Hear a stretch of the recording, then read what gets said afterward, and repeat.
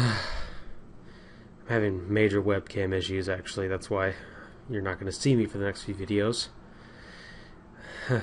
because, uh, to be honest with you, they made me very angry. But anyways, in this video, I'm going to show you how to uh, speed up your internet browsing experience for free.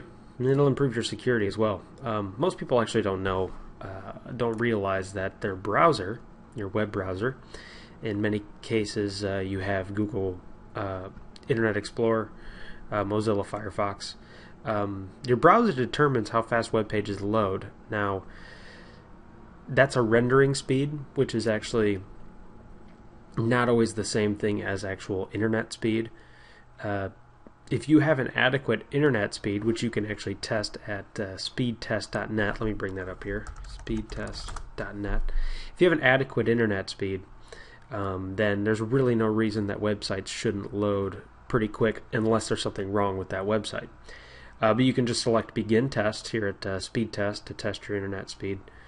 And uh, pretty much anything at one and a half meg or a little higher uh, is adequate for most web pages you're going to be at. I mean, if you're streaming high definition, you want to have three to three to six. Uh, but as you can see, I have 20 because I'm obsessed with internet and I spend all kinds of money on extra speed.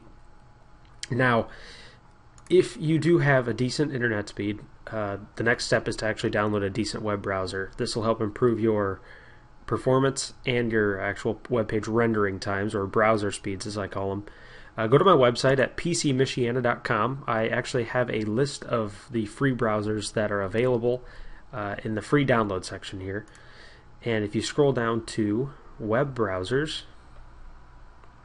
you will see I actually kind of have them in order. Uh, well, I guess they're alphabetical order. Uh, but really, the number the number one rendering speed is is Apple Safari, and that's an Apple product. I'm not a big fan of Safari, but it really kind of depends on what you like to use. Uh, Google Chrome is the second fastest. I recommend it. That's the one I'm using right here on uh, this video. Internet Explorer, of course, that's if you want to update the latest version.